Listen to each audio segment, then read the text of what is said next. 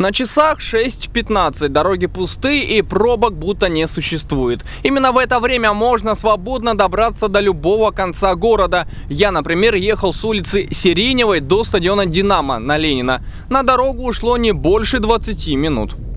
А вот где-то в 7-7.15 в городе уже начинается пробка, на дорогах не протолкнуться. И в последнее время стало модным читать сообщения в Дубльгисе. Стояние в пробке считается как рабочее время? Хочу новую услугу – кофе в пробке. Куплю машину ближе к Павловскому тракту. Предлагайте варианты. Меняю квартиру за мостом на квартиру в центре с периодичностью 5 на 2 до конца 2023 года. Смотрю видео, как строить мосты, чтобы уже помочь им. В восьмом часу самые проблемные участки дорог убедился, увы, на себе. Это Ленина, Северо-Западная, Павловский тракт, Власихинская и так далее. Но если уж вы попали в пробку, то надо придумать, чем в ней заняться. Потому что простоять можно и час, и два, и полтора. Многие говорят, бросайте автомобили, пересаживайтесь на общественный транспорт, быстрее будет. Я попытался, но войти в автобус не получилось. По ощущениям, количество пассажиров увеличилось, а вот транспорта больше не стало. Так что в автобусе едут сильнейшие. Такая же ситуация и в трамваях.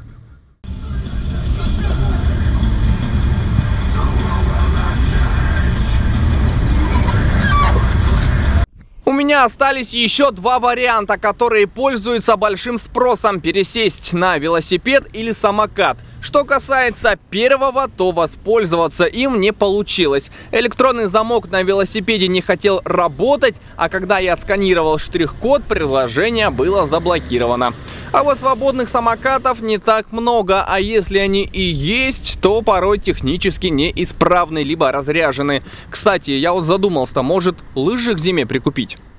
Но если вам не понравилась ни машина, ни автобус, ни велосипеды и самокаты, то есть вариант пешей прогулки до самой работы. Но, правда, это тоже требует э, некой э, физической подготовки, потому что чаще всего до работы приходится идти час или полтора, может быть того и больше, смотря откуда мы э, с вами пойдем пешком. Вот если, например, я своего дома а, пойду до работы, работаю в центре, то у меня это займет около двух часов пешком.